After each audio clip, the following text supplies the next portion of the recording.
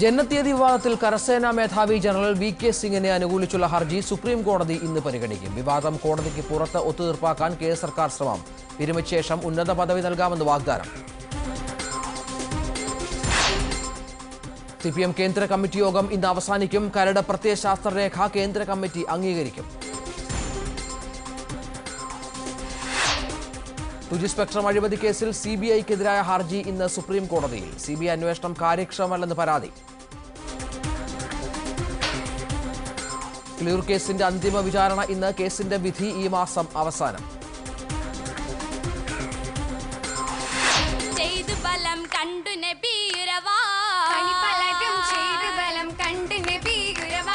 സംസ്ഥാന സ്കൂൾ കലോത്സവത്തിൽ കോഴിക്കോട് ജില്ല മുന്നേറ്റം തുടരുന്നു.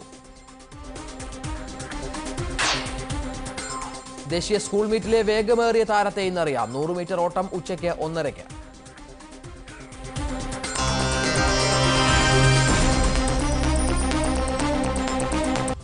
നമസ്കാരം ഏഷ്യനെറ്റ് ന്യൂസിലേക്ക് സ്വാഗതം. ഞാൻ രജിത് രാമേന്ദ്രൻ. വിശദമായ വാർത്തകളിലേക്ക്.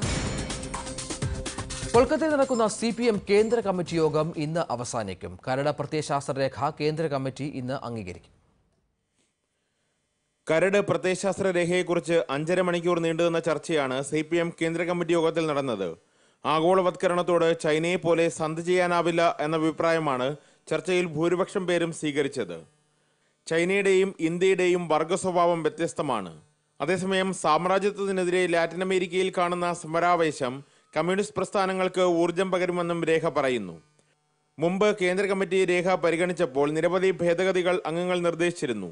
ഇന്നലത്തെ ചർച്ചയ്ക്ക് ശേഷവും ഭേദഗതികൾ വന്നു. ഇന്ന് പോളിറ്റ് ബ്യൂറോ യോഗം ചേർന്ന് ഈ ഭേദഗതികൾ ചർച്ച ചെയ്ത ശേഷം രേഖ കേന്ദ്ര കമ്മിറ്റി അംഗീകരിക്കും. കരട് രാഷ്ട്രീയ പ്രമേയത്തിന് ഇന്നലെ കേന്ദ്ര കമ്മിറ്റി രൂപം നൽകിയിരുന്നു. ദേശീയതലത്തിൽ ഇടത് ജനാധിപത്യ മതേതര ബദൽ എന്ന നിർദ്ദേശമാണ് രേഖ മുന്നോട്ട് വയ്ക്കുന്നത്. സംഘടനാ വിഷയങ്ങൾ ഇന്ന് പോളിറ്റ് ബ്യൂറോ പരിശോധിക്കും. കേരളം ഉൾപ്പെടെയുള്ള സംസ്ഥാനങ്ങളിൽ ഇതുവരെ നടന്ന സമ്മേളനങ്ങളുടെ പൊതുവിലയിരുത്തൽ കേന്ദ്ര കമ്മിറ്റി യോഗത്തിൽ നടക്കും. തനിക്കെതിരെയുള്ള വിജിലൻസ് കേസ് സംബന്ധിച്ച് വി എസ് അച്യുതാനന്ദൻ നൽകിയ വിശദീകരണം ഇന്നലെ പോളിറ്റ് ബ്യൂറോ യോഗം അംഗീകരിച്ചിരുന്നു. ഇക്കാര്യം ഇന്ന് പോളിറ്റ് ബ്യൂറോ കേന്ദ്ര കമ്മിറ്റിയിൽ റിപ്പോർട്ട് ചെയ്യും. കൊൽക്കത്തയിൽ നിന്ന് cameraman Prashant കുനിശ്ശേരിക്കൊപ്പം Prashanth Raghuvamsam Asianet news. Two G spectrum അഴിമതി കേസിൽ സി ബി ഐ അന്വേഷണം കാര്യക്ഷമമല്ലെന്ന് ആരോപിക്കുന്ന ഹർജി സുപ്രീം കോടതി ഇന്ന് പരിഗണിക്കും. അഭിഭാഷകനായ പ്രശാന്ത് ഭൂഷണാണ് ഹർജി നൽകിയിരിക്കുന്നത്. ദയാനിധിമാരനെതിരെ അന്വേഷണം വൈകുന്നുവെന്ന് ആരോപിക്കുന്ന ഹർജിയിൽ മറുപടി നൽകാൻ കോടതി സി ബി ഐയോടും എൻഫോഴ്സ്മെന്റ് വിഭാഗത്തോടും ആവശ്യപ്പെട്ടിരുന്നു. അന്വേഷണത്തെ സ്വാധീനിക്കാൻ കേന്ദ്ര നിയമമന്ത്രി സൽമാൻ ഖുർഷിദ് ശ്രമിക്കുകയാണെന്ന് ഹർജിയിൽ ആരോപിച്ചിട്ടുണ്ട്. കിളിയൂർ കേസിന്റെ അന്തിമ വിചാരണ ഇന്ന് നടക്കും. ഈ മാസം അവസാനം കേസിന്റെ വിധി പറയും. തിരുവനന്തപുരം സി പ്രത്യേക കോടതി വിചാരണ പൂർത്തിയാകുന്ന ആദ്യ കേസ് കൂടിയാകും കിളിയൂർ കേസ്. കിളിരൂർ സ്വദേശി ഷാരിയെ വിവിധ സ്ഥലങ്ങളിൽ കൊണ്ടുപോയി പീഡിപ്പിച്ചുവെന്നാണ് കേസ്. പീഡനത്തിന് ഇരയായ പെൺകുട്ടി ഗർഭിണിയാവുകയും പിന്നീട് മരണമടയുകയും ചെയ്തു. സി ബി ഐ പ്രത്യേക സംഘം അന്വേഷിച്ച കേസിൽ ഏഴ് പ്രതികളാണുള്ളത്. ഒന്നാം പ്രതി ഓമനക്കുട്ടിയെ കേസിലെ മാപ്പ് സാക്ഷിയാക്കി. സി ബി ഐ തയ്യാറാക്കിയ സാക്ഷിപ്പട്ടികയിൽ എഴുപത്തിയെട്ട് പേരെയാണ് ഉൾപ്പെടുത്തിയിരുന്നത്. അതിൽ അറുപത്തിയേഴ് പേരെ വിചാരണ നടത്തി. കഴിഞ്ഞ വർഷം ഒക്ടോബർ ഇരുപത്തിനാലാം തീയതിയാണ് കേസിന്റെ വിചാരണ തിരുവനന്തപുരം പ്രത്യേക സി കോടതിയിൽ തുടങ്ങിയത്. ജനുവരി ആറാം തീയതി വിചാരണ പൂർത്തിയായി. സാക്ഷി വിചാരണ വേളയിൽ ഷാരിയുടെ കുട്ടിയുടെ പിതാവ് രണ്ടാം പ്രതി പ്രവീണാണെന്ന് തെളിഞ്ഞിരുന്നു. കേസിന്റെ വിചാരണ വേളയിൽ ഷാരിയുടെ മാതാപിതാക്കളും പൊതുപ്രവർത്തകരും പുനരന്വേഷണം ആവശ്യപ്പെട്ട് ഹർജികൾ നൽകിയിരുന്നു. ഷാരിക്ക് വിവിധ ആശുപത്രികളിൽ നൽകിയ ചികിത്സ മരണകാരണം എന്നിവയെക്കുറിച്ച് അന്വേഷണം നടത്തണമെന്നാവശ്യപ്പെട്ടായിരുന്നു ഹർജികൾ സമർപ്പിച്ചത്. എല്ലാ ഹർജികളും കോടതി തള്ളി. പ്രായമാകാത്ത പെൺകുട്ടിയെ പീഡിപ്പിക്കുക കൂട്ടബലാത്സംഗം തുടങ്ങിയ കുറ്റങ്ങളാണ് പ്രതികളുടെ മേൽ ആരോപിച്ചിട്ടുള്ളത്. രണ്ട് മാസം കൊണ്ടാണ് കേസിന്റെ വിചാരണ പൂർത്തിയായത്.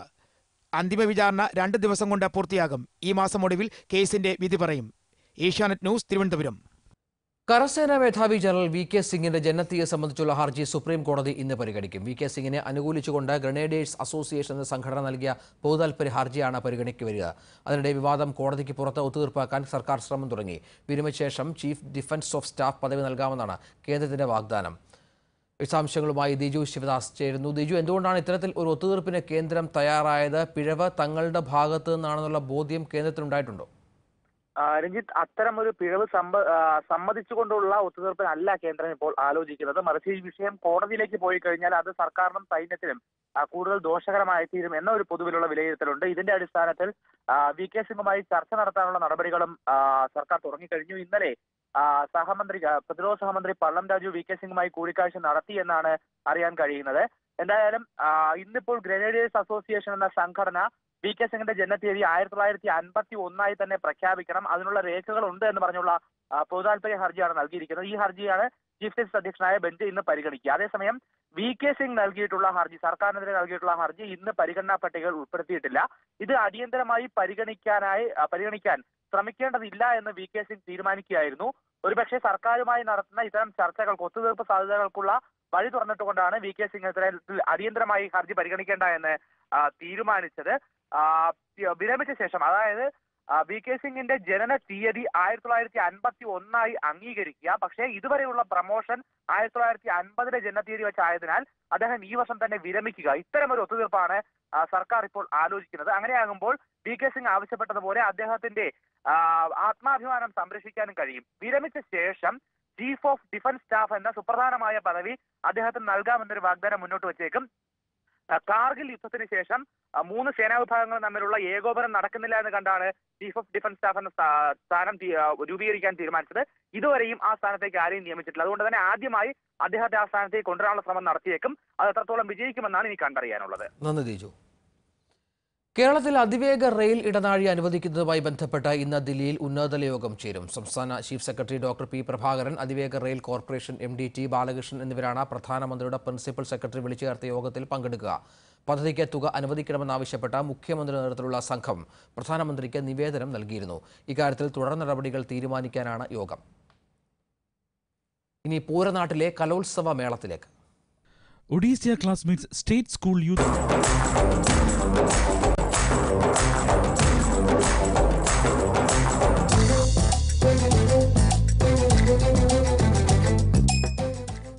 സംസ്ഥാന സ്കൂൾ കലോത്സവത്തിൽ അഞ്ചാം ദിവസത്തെ മത്സരങ്ങൾ അല്പസമയത്തിനകം ആരംഭിക്കും. പ്രധാന വേദിയായ കോർപ്പറേഷൻ സ്റ്റേഡിയത്തിൽ ആദ്യം നടക്കുക ഹൈസ്കൂൾ വിഭാഗം ആൺകുട്ടികളുടെ കേരള നടന മത്സരമായിരിക്കും. തുടർന്ന് ഹൈസ്കൂൾ വിഭാഗം പെൺകുട്ടികളുടെ നാടോടി നൃത്തവും ഹയർ സെക്കൻഡറി വിഭാഗം സംഘനൃത്തവും നടക്കും.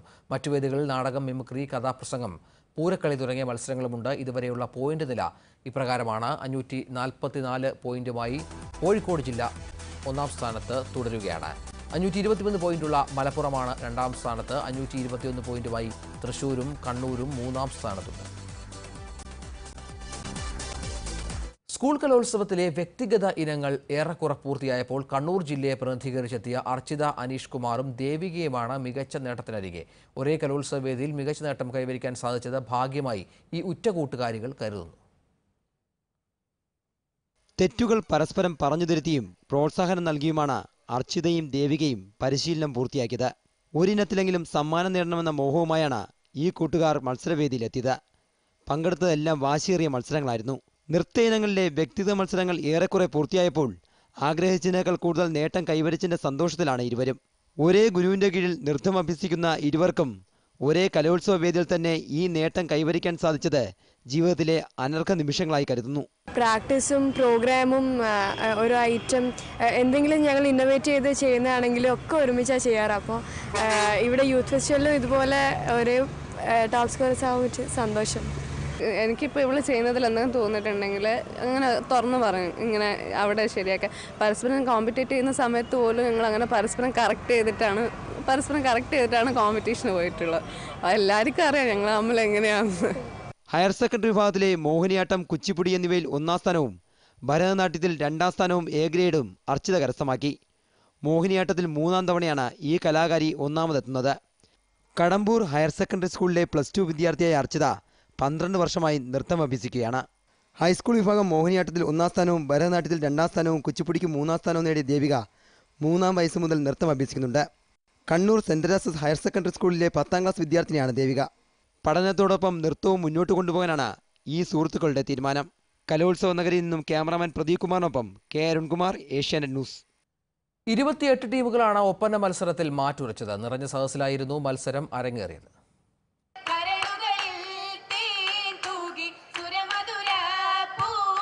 ഒപ്പനപ്പാട്ടിന്റെ ഈശലുകളുമായി മണവാട്ടിമാരും തോഴിമാരും വേദിയിൽ നിറഞ്ഞപ്പോൾ കാണികൾക്കത് ദൃശ്യവിരുന്നായി. അപ്പീൽ വഴി പതിനാല് ടീമുകളാണ് മത്സരത്തിൽ പങ്കെടുത്തത്. മത്സരം തുടങ്ങുന്നതിന് മണിക്കൂറുകൾക്ക് മുമ്പ് തന്നെ പ്രധാന വേദിയിലെ സദസ്സ് നിറഞ്ഞിരുന്നു. വേഷത്തിലും ചുവടുകളിലുമെല്ലാം ഓരോ ടീമും വ്യത്യസ്തത പുലർത്തി. ഓരോ തവണയും ഓരോ ചേഞ്ചിങ് വരുത്തിക്കും ഡ്രസ്സിലായാലും മണവട്ടി ഓർണമെന്റ്സ് ആയാലും മണവട്ടി ഡ്രസ്സായാലും കളിക്കുന്ന വീട്ടിലെ ഡ്രസ്സായാലും ഓരോ ചേഞ്ചിങ് വരുത്തിക്കും ഫാഷനായിട്ട് മോഡലായിട്ട് ഒരു ടീമിനെ സംസ്ഥാന തലം വരെ എത്തിക്കാനുള്ള ചെലവ് ഏകദേശം എഴുപതിനായിരം രൂപയാണ്. ഒപ്പനവേദി ഇത്തവണയും പതിവ് പോലെ. ചുണ്ടിലും കണ്ണിലും നാണമുണിപ്പിച്ച് മൈലാഞ്ചി കൈകൾ കൊട്ടിക്കയറിയപ്പോൾ സദസ്സിന്റെ മനസ്സു നിറഞ്ഞു. കലോത്സവ വേദിയിൽ നിന്നും ക്യാമറാമാൻ കെ അഭിലാഷിനൊപ്പം പ്രജുല ഏഷ്യാനെറ്റ് ന്യൂസ്. സാംസ്കാരിക നഗരിയുടെ കലോത്സവ രാത്രികൾക്ക് പ്രത്യേക സൗന്ദര്യമാണിപ്പോൾ. താളമുഖരിതമായ ഓരോ രാത്രി കഴിഞ്ഞു പോകുമ്പോഴും തൃശൂർകാർ വേദനിക്കുന്നുണ്ട്. നഷ്ടമാകുന്ന മൂന്ന് നാൾ പിന്നിട്ടാൽ കേൾക്കാതെയാകുന്ന മേളപദങ്ങളെ ഓർത്ത്. ഉത്സവപ്പിറ്റന്നത്തെ പുലരിമയക്കങ്ങളാണ് നമുക്കേറെ പരിചിതം. രാവേറെ ചെന്നാലപ്പുറം അനങ്ങുന്ന മണ്ണും മനുഷ്യനും മനസ്സുമൊന്നുമില്ല. ഇവിടെ രാത്രിക്ക് ഭാവങ്ങൾ പലതാണ്. കലോത്സവ രാത്രിക്ക് പ്രത്യേക സൗന്ദര്യമാണ്. ഊടൊഴിഞ്ഞു പോകുന്ന പുരുഷാരം മത്സരാർത്ഥികൾ ചെറുസംഘങ്ങളായി വേദി വിട്ടൊഴിയുന്നു. ചിലർക്ക് പുഞ്ചിരി ചിലരുടെ മുഖത്ത് വിഷാദം. അന്നന്നത്തെ പ്രകടനത്തെ വിലയിരുത്തി ക്ഷീണം തീർത്ത് തളർന്നിരിക്കുന്ന പക്കമേളക്കാർ തിരശീലയിട്ട വേദികൾ ഒഴിഞ്ഞ ചാനൽ പുരകൾ ആളൊഴിഞ്ഞ കസേരകൾ.